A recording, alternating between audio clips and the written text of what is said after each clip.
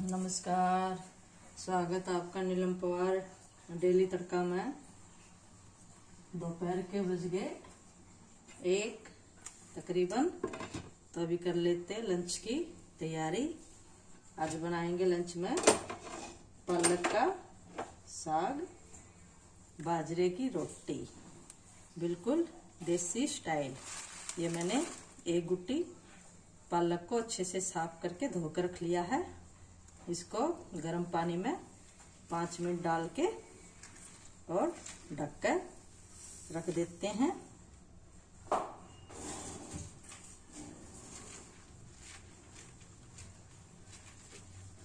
हमें पालक को उबालना नहीं है। उबालने से हमारा पालक का जो हरा रंग है, वो खराब हो जाता है।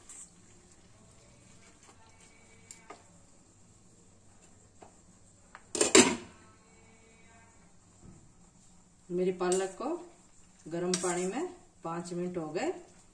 अब इसका पानी निकाल के ठंडी होने के बाद इसको मिक्सी में ग्राइंड कर लेते हैं।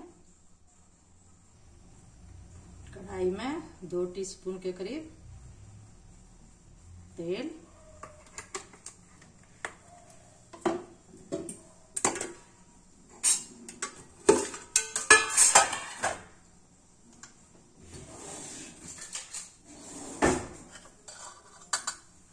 थोड़ा जीरा। जीरा अच्छे से तड़कने के बाद में एक कटा प्याज।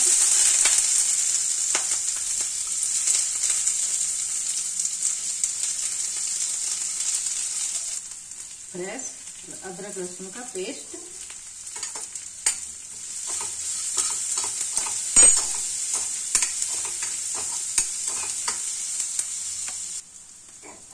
थोड़ा लाल मिर्च पाउडर।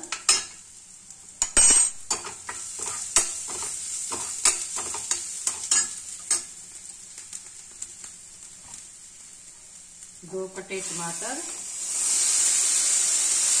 स्वाद अनुसार हरी मिर्च।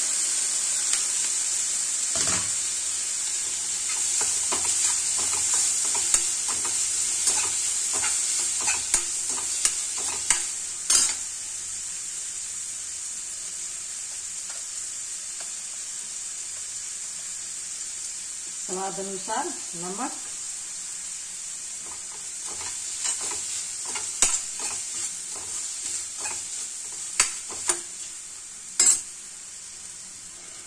ये मैंने पालक ग्राइंड कर ली।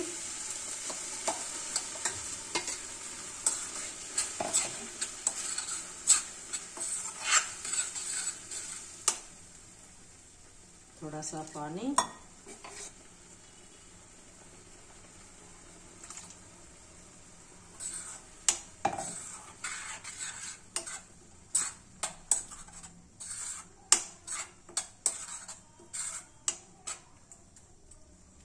इसको पाँच मिनट के लिए ढक के पका लेते हैं।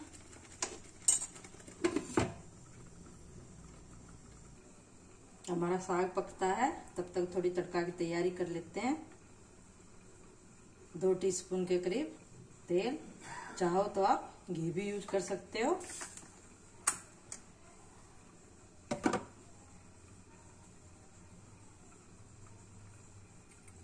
थोड़ा सा लहसुन कटा।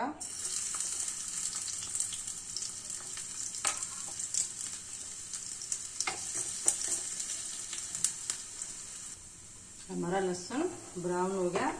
गैस को कर देते हैं। बंद।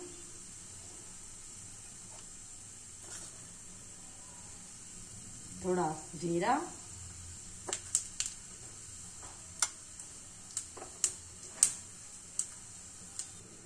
आधा टीस्पून हींग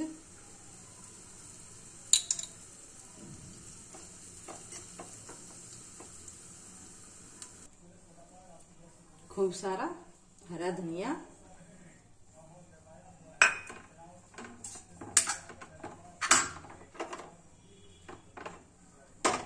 ये मैंने जो मसाला तड़का बनाया है लहसुन वाला ये लहसुन और उसका हींग का तड़का।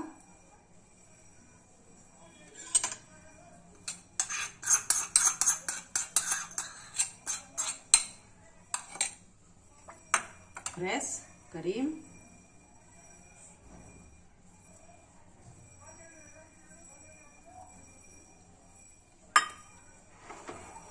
पालक का देसी तरीके से बना साग तैयार